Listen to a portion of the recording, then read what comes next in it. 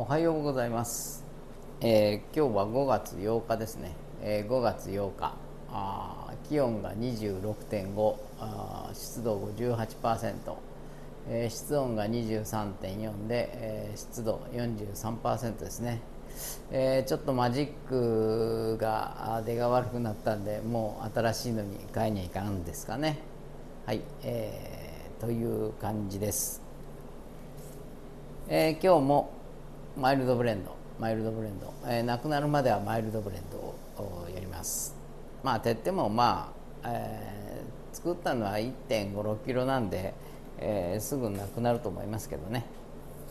はい、えー、今日の質問ですね。えー、冷めたコーヒーがまずいと言われるのはどうしてですか？冷めたコーヒーがまずいと言われるのはどうしてですか？まあ下手だから。というふうに言っちゃうと、えー、語弊がありますよね。はい、えー、とりあえずコーヒー立てましょう。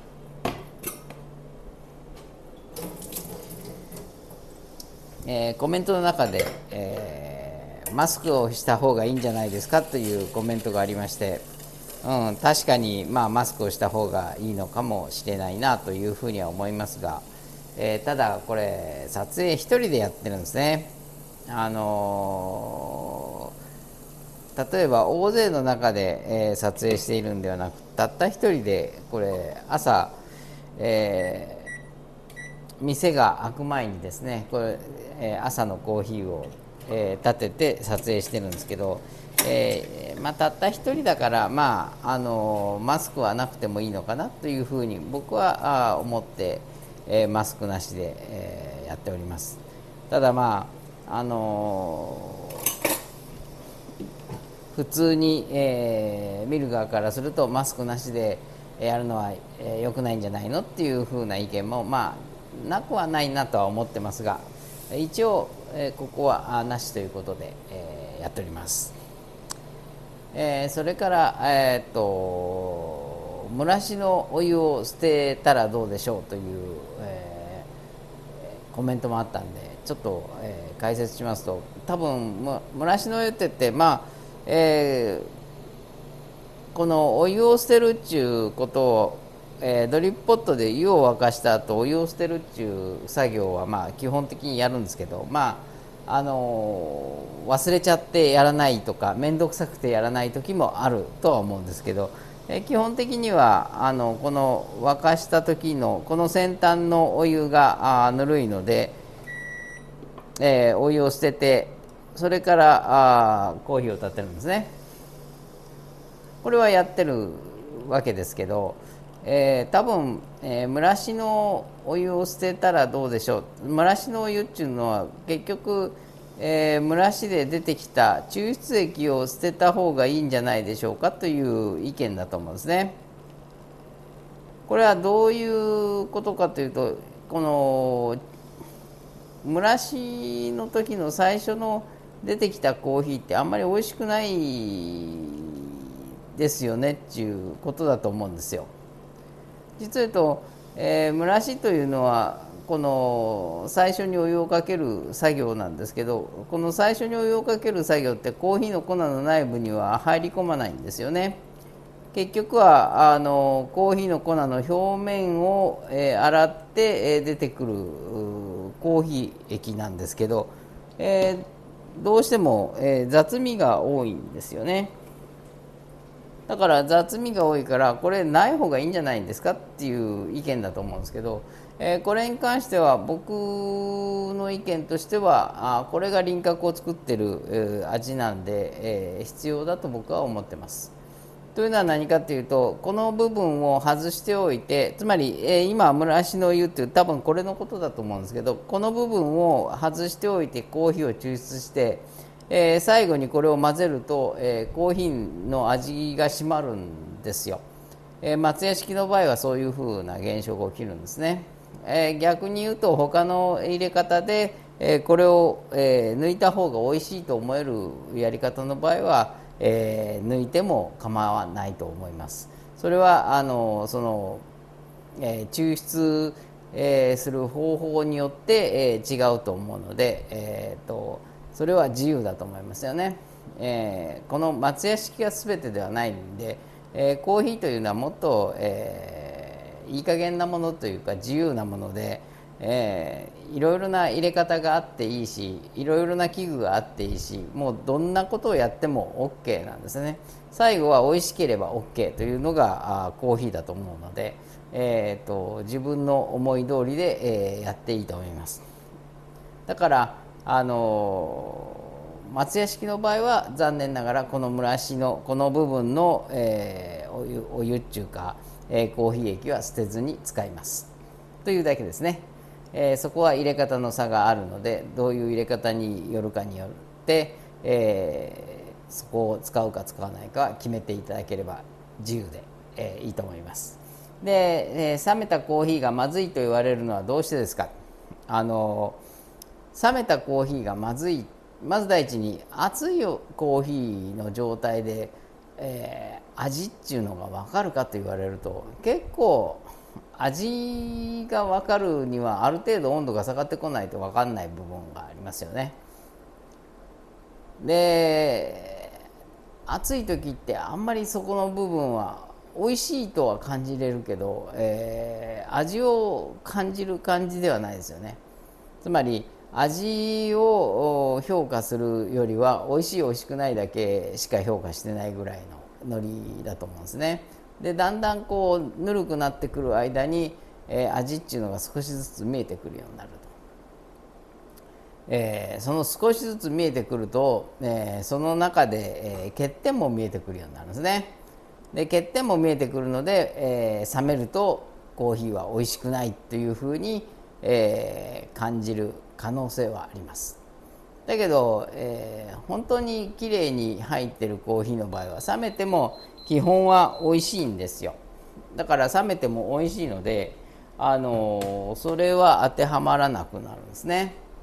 だから、えー、そういう意味合いで言うと、えー、冷めてまずいということは最初から温かい時からあんまり美味しくなかったんじゃないのっていうのがまあ僕のまあざっくりとした意見になっていくわけですよ。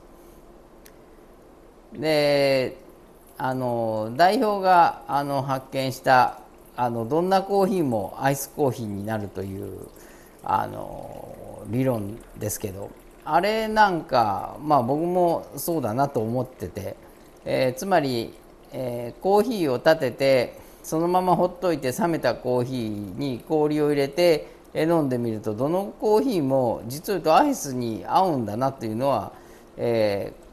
まあ代表が発見したことでありますがえー、そういうことがあるわけですよねつまり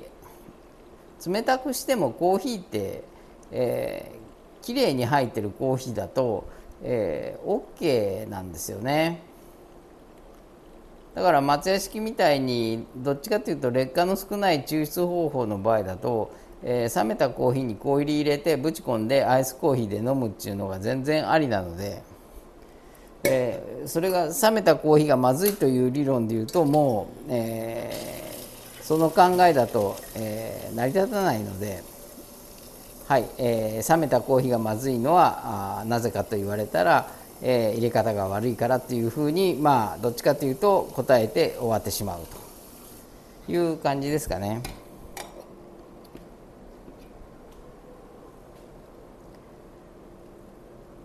まあ実際にはあのあれなんですよね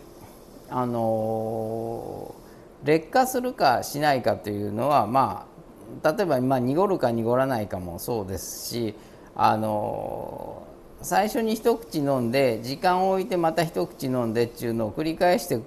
時に味の変化がどう変化していくかを調べていくと、まあ、コーヒーっていうのが、えー、まずくなるかどうかは決まってきますよね。つまり、えー、例えば85度の温度帯70度の温度帯それが60度の温度帯になり、え、50度の温度帯になり40になり、えー、25になりみたいな感じで、えーと、温度が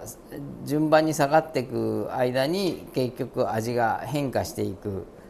のかもしくはあの酸化して濁りが生じてきたりとかあいろいろと変化していくのかっていうのが、え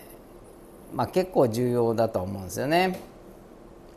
で大体濁ってくるようなコーヒーだと大体まあ入れ方あんまり上手ではないことが多いので、えー、その場合はもう入れたてでないとまあ飲めないようなコーヒーが多いというだけです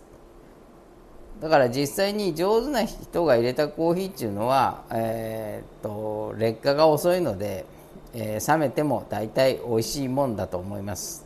だからそう考えればあの基本コーヒーなんてもんは冷めた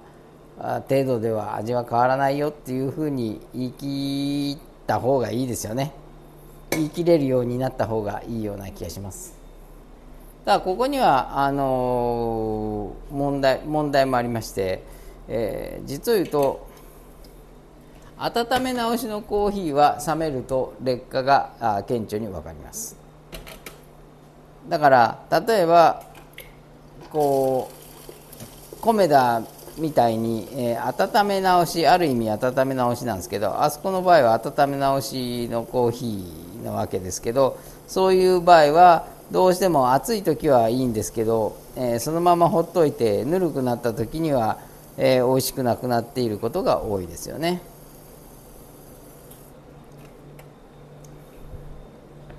それは何かというとコーヒーっていうのが温度変化に弱いという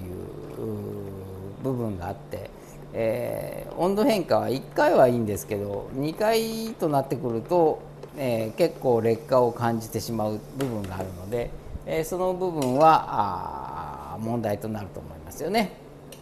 はい、えー、それではコーヒー入りました、えマイルドブレンドですね。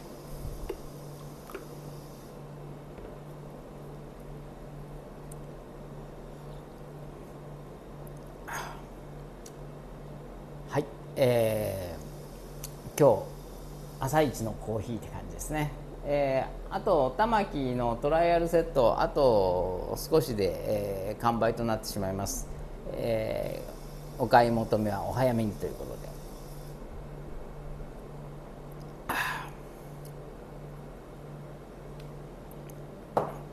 はい、えー、ということで、えー、今日はここまでにしましょう。なんせこの後、えー、ポットえー、3本か4本、えー、立て続けに作らないかんのでね、えー、ここまでにします。